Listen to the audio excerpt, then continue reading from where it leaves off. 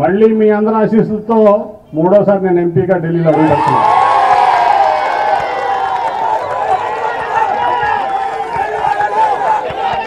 అది కూడా చెప్తున్నా. క్లారిటీ ఇస్తున్నా. బేగ్ జన్మదిన సందర్భంగా నేను క్లారిటీ ఇస్తున్నా. విజయవాడ ప్రాంతం కోసం విజయవాడ ప్రజల కోసం మళ్ళీ నేను మూడోసారి ఎన్నికై పార్లమెంట్లో మీ అందరూ ఆశీస్సులతో అడుగు పెడుతున్నా. కేవలం ఈ ప్రాంతం కోసం ఇక్కడ ప్రజల కోసం నా అవసరం మాత్రం కాదని వెరీ క్లియర్గా మీకు తెలుసు నేను మళ్ళీ ఇంకోసారి చెప్తున్నా. అట్లాగే ఎవరు ఎన్ని కుయుక్తులు పనినా ఎవరు ఎన్ని ఆలోచనలు చేసినా విజయవాడ ప్రజలు చాలా విఘ్నులు. పేదవాళ్ళ పట్ల ప్రాంతం పట్ల ఇక్కడ ప్రజల పట్ల పనిచేసే వాళ్ళని ఆదరించేటువంటి లక్షణం గుణం ఈ విజయవాడకే సొంతం ఇంకెక్కడ కాదు. డబ్బుకు కూడా ప్రమేయం లేదు ఇక్కడ. అటువంటి గొప్ప వ్యక్తులు ఉన్నటువంటి ప్రాంతం ఇది. అట్లాగే మన యువకాలం పాదయాత్ర కూడా. నేను పబ్లిక్గా చెప్తున్నా యువగళం పాదయాత్ర లోకేష్ గారు పాదయాత్ర చేస్తుంటే ఇక్కడ సక్సెస్ చేసింది విజయవాడ వెస్ట్ టీం మాత్రమే. ఇంకెవరి ప్రమేయం లేదని చెప్పి కూడా పబ్లిక్గా చెప్తున్నాను నేను.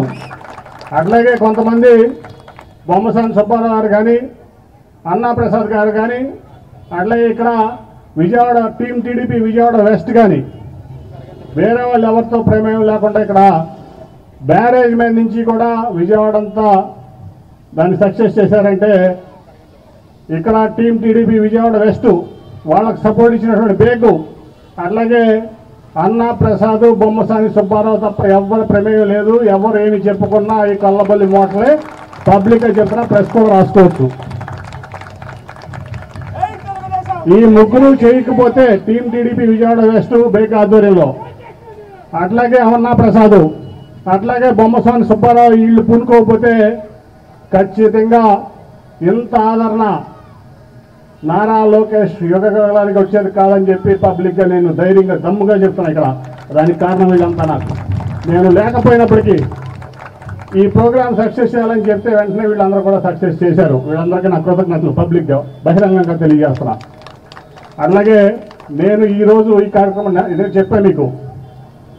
నేను ఏ కార్యక్రమంలో కూడా ఇటువంటి ఆడంబరాలకు వెళ్ళను. ఎవరిని కూడా అనవసరంగా డబ్బులు ఖర్చు పెట్టదు అవసరమైతే పేదవాళ్ళకి సాయం చేయండి అని చెప్తా. ఎందుకంటే పేదవాళ్ళకి సాయం చేయడం నిజమైన ప్రజాసేవ ఉంటుంది. నిరంతరం మీరు నన్ను నోటేసి ఎక్కడ పంపించి పార్లమెంట్కి పంపిస్తే నేను ఖచ్చితంగా ప్రతి నిమిషం నేను ప్రజాప్రతినిధిగా ఉన్నంతకాలం మీకోసం పనిచేస్తాను తప్ప నా కోసం నేను పనిచేస్తానని చెప్పి తొమ్మిదిన్నర మీకు తెలుసు. ఒక సందర్భంలో నీకు ప్రజాసేవ కావాలా? నీకు వ్యాపారం కావాలని నన్ను నేనే ప్రశ్న వేసుకున్నప్పుడు నాకు ప్రజాసేవ ఇంపార్టెంట్ చెప్పి తొంభై ఏళ్ళ నా వ్యాపారాన్ని తృణపాయంగా తీసేసాను కూడా మీ అందరికీ తెలుసు. కాబట్టి నాకు పేదవాళ్ళు ఇంపార్టెంటు.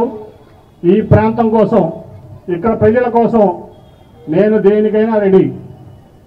ఏ త్యాగానికైనా నా పర్సనల్ దీనికైనా ప్రతి నిమిషం ఈ ప్రాంతం కోసం ఇక్కడ ప్రజల కోసం నేను నా సమయం వెచ్చిస్తాను మీ అందరికీ తెలుసు. మరొకసారి అది మీ అందరికీ నేను తెలియజేస్తున్నా కూడా. అట్లాగే నేను ఒకటే చెప్తాను ఈ స్టేజ్ మీద నుంచి.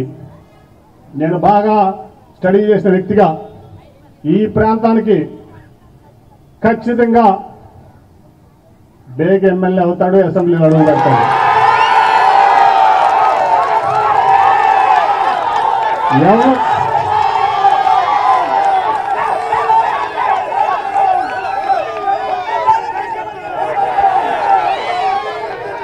ఎంతమంది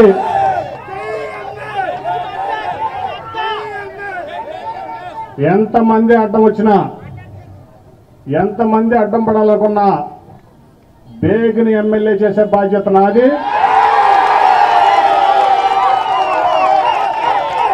దానికోసం నా సర్వశక్తిలో ఉంటానని చెప్తున్నా. ఎందుకంటే కొంతమంది నుంచి ఇక్కడ ప్రజలకు విముక్తి కలగాలి మా కార్యకర్తలకి నాయకులకి విముక్తి కలగాలి. కొంతమంది ప్రజాసేవకు పనికిరాని వ్యక్తులు ప్రజాసేవలో ఉండకూడదు అనేదే నా అభిమతం.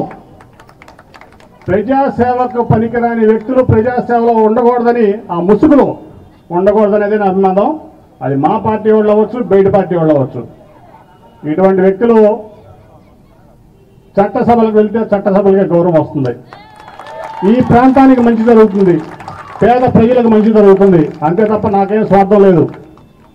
నాకు ఎటువంటి స్వార్థం లేదు. బేగ్ని అసెంబ్లీకి వెళ్ళాలి అంటంలో నాకు ఎటువంటి స్వార్థం లేదు.